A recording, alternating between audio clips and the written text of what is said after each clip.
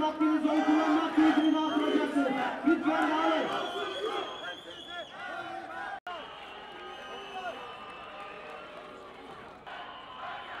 Evet bu size yapılan son